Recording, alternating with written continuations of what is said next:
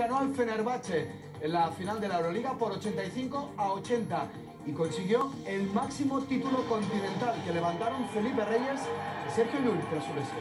Luka Doncic fue elegido el mejor jugador en un partido frenético en Belgrado que los blancos resolvieron, sobre todo con un tercer cuarto pletórico y con Fabián Coser con 17 puntos determinantes. Andrés Iniesta recibió el último aplauso de la afición del Barça antes de su marcha en un sentido homenaje. Y homenaje también a Fernando Torres, que entre lágrimas se despidió de su Atlético de Madrid.